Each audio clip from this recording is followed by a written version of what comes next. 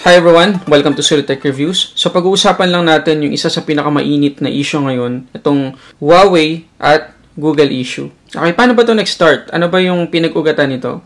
Pero bago yan, tandaan nyo na ang Huawei ang pinakamalaking phone brand sa China. At pagdating sa worldwide ratings, hindi ito lumalabas sa top 5 palagi. Kaya masasabi natin na napakalaki ng na-contribute ng Huawei pagdating sa mobile innovations. At hindi lang sa phone innovations, pati na rin sa pag-develop ng 5G network. Marami rin namang company or maraming tao ang nakapag-contribute sa pag-develop ng 5G network na paparating pa lang. Pero isa ang Huawei sa may pinakamalaking contribution dyan. At kung maaalala ninyo, ang Huawei ay hindi lang phone brand, meron din silang mga laptop at iba pang devices. Yung router na pre-provide ng Globe para sa internet namin, kapag tinignan yung likod nun, ang brand nun ay Huawei. Baka ganun din yung mga ginagamit nyong modem ngayon. Kahit yung pocket wifi na ginagamit nyo ngayon, tingnan nyo yung likod, baka Huawei yung tatak niyan. So malaki yung na-contribute ng Huawei pagdating sa pag-develop ng network. Pero hindi ko maalala eksaktong petsa guys. Kung kailan ini-start ng US na iban yung Huawei sa bansa nila. Pero ang naalala ko, nabalitaan ko yan nung release ng P 20 lineup. Hindi na yun available sa US kasi nga ban na siya. So anong reason bakit binan ng US si Huawei sa bansa nila? Ang reason ay dahil naniniwala ang US government na ginagamit ng Huawei yung kanilang mga phones para mag-spy sa kanila. So para sa US government, security threat ang Huawei products, especially yung phones. Kaya binan nila ito totally sa US. At nito nga lang week, itong week na to, tuluyan nang inilagay ni Donald Trump sa blacklist si Huawei. Kaya yung Google, Intel, Qualcomm at Broadcom ay kumalas na sa Huawei. At ang pinakamalaking issue na pag-uusapan natin ay yung pagkalas ng Google dito kay Huawei.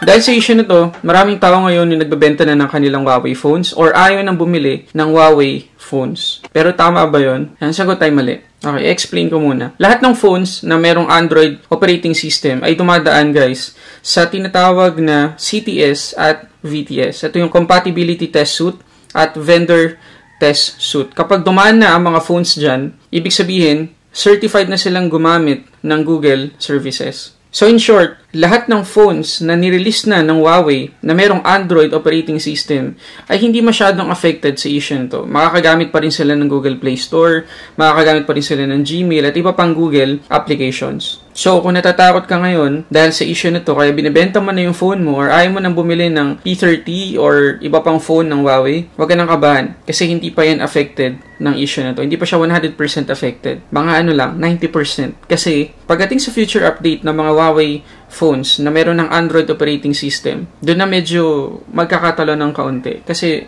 ang ibinigay lang ng US na license ngayon sa Huawei para magpatuloy sila sa Android or Google services ay 90-day license. So within 3 months, pwedeng mag-update ng mag-update si Huawei ng security patches sa kanilang mga na-release ng phones. Pero after nun, wala na. Wala nang update na ma-receive, wala nang security patches, wala nang major Android update na marireceive yung mga Huawei phones. Pero, magagamit mo pa rin yung Google Play Store, lahat ng Google services, makakapag-install ka pa rin ng apps. Kasi nga, dumaan na to sa CTS at VTS. So, hindi na mababawi yun ng Android or ng Google.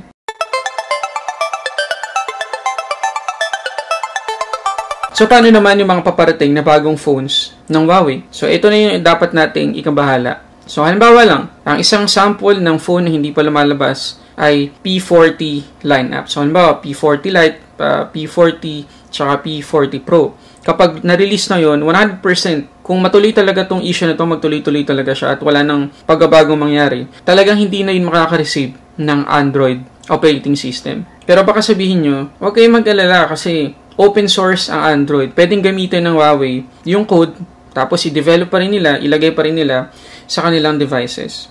Okay, ngayon pa lang sinasabi ko na mali yun kasi number one, kahit open source ang Android, nagre-rely pa rin yan sa services ng Google. So, kung ma-install mo, halimbawa, imagine niyo guys na Huawei P40 to. Tapos, ibang OS na yung naka-install dito. Tapos, nilagyan ko siya ng tinatawag na custom ROM. Ang custom ROM ay based sa AOSP o Android Open Source Project. So, Android na siya. Pero, sabi natin kanina, hindi na ma-access ng Huawei devices si Google Play Store. Tapos, baka naman sabihin natin, Eh di ba meron ding APK version ng Google Play Store? Tama, meron din naman. So halimbawa, na-install na natin yung AOSP or custom ROM dito. Tapos, nag-install tayo o nag-sideload tayo ng APK na Google Play Store at na-install natin successfully. So, makakapag-download ba tayo?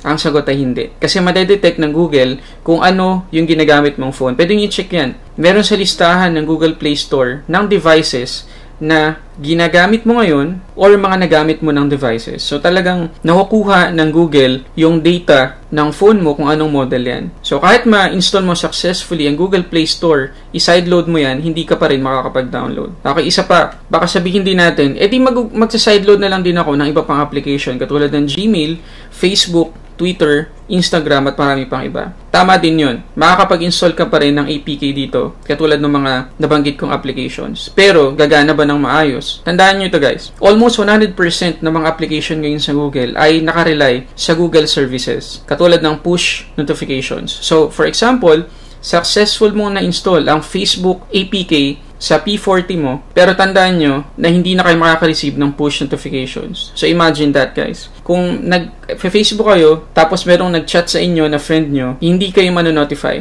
na merong chat na dumating. E, yun lang yung isa sa mga example nun. Marami pang functions ngayon ang mga application na nakarelay kay Google.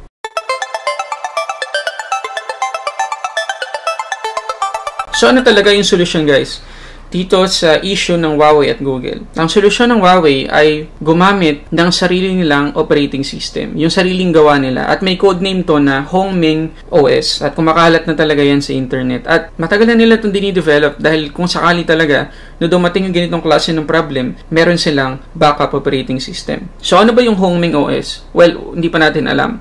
Pero isa lang ang sigurado dyan. Ito na yung magre-replace sa Android operating system pagdating sa mga Huawei phones. So magiging okay ba yon para sa mga tao? Hindi rin natin alam. Pero imagine this guys. March 6, 2012, nirelease ng Google ang Google Play Store. So 7 years mula noon, meron ng 2.6 million applications ang Google Play Store. At ilan lang sa 2.6 million na yon ang talagang reliable at ginagamit nating mga average consumer. So, ang point ko, kung mag-release ng homing OS si Huawei next year, sakaling ganun, next year na mag-release ng homing OS, para lang sa akin, hindi ko siya masasabi na very useful or 100% reliable katulad ng Android or stable katulad ng Android. Wala pa masyadong application na mada-download gamit yung Homing OS. Hindi ko pa rin naman, hindi pa rin natin talaga sure. Eh. Yun lang naman yung sa tingin ko mangyayari.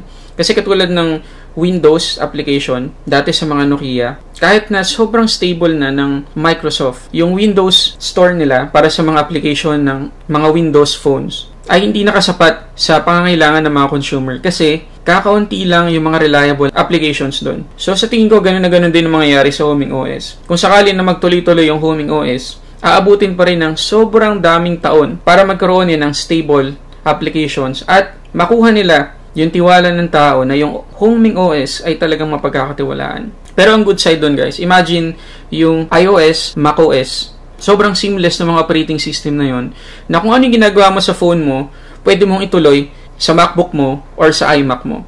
So, ganun yung pwedeng mangyari sa Hongmeng OS. Yung ginagawa mo sa phone mo ngayon, pwede mong gawin sa laptop ng Huawei. Kasi katulad ng sinabi natin kanina, hindi lang Google yung kumalas dito kay Huawei, pati Intel, which is nagpo-provide ng mga chipset sa mga laptop ng Huawei. At dahil doon, baka gamitin na rin ng Huawei yung Kirin chipset nila doon sa mga Huawei laptop nila. At dahil din doon, yung Homing OS na rin yung gagamitin nila sa mga laptop nila. At dahil din doon, kagaya ng sinabi ko kanina, magiging seamless na yung, operation, yung operation, which is good. Kasi yun talaga yung gusto natin. Kahit sa mga Android users, gusto natin seamless. Okay, so ulitin ko lang bilang recap guys. So number one, kailangan ka bang mag-alala sa Huawei phone mo ngayon? Kailangan mo na bang ibenta to? Or kailangan mo na bang iwasan ng mga Huawei phones ngayon? Ang sagot ay hindi. Kasi yung mga na-release na nga na phone ng Huawei, ay may access pa rin sa Google services. So, doon sa mga, meron kasi akong mga basa nagko-comment sa mga nagbebenta ng phones ng Huawei ngayon na, halimbawa, uh, P30, kukunin daw nila 5K na lang. Hindi naman fair yon para sa mga bumili ng Huawei phone sa sobrang mahal. Kasi until now, usable pa rin at same na same pa rin yung mga Huawei phones ngayon. Ma-access nila yung Google Play Store at marami pang iba. Number two, ang dapat nating abangan ay yung mga hindi pa nire-release na phone ng Huawei. Katulad ng P40 lineup. At baka doon natin unang makita yung Hongmeng OS na sinasabi nila or yung Plan B ng Huawei na OS. At number 3, ituloy lang natin guys yung pag-abang doon sa mga update ng Huawei Google issue. Kasi baka naman, mapag-usapan pa nila, baka naman bumaliktad tong issue na to at bumalik tayo sa normal. So, abangan pa rin natin. So, yun lang guys. Maraming salamat sa panonood. Sana nakatulong tong video na to at, at sana nalinawan kayo kahit papano tungkol sa issue na to. Kung meron pa kayong tanong, comment down below pag-usapan natin. At kung meron akong na-miss na information tungkol sa issue na to, please comment down below. So, yun lang. Maraming salamat ulit sa panonood. Please don't forget to like, comment, and subscribe. At share nyo rin tong video na to, lalo na dun sa mga friends nyo sa Facebook na naguguluhan tungkol sa issue na to. So, yun lang. Para sa samot-saring unboxing reviews, this is Sulit. take reviews.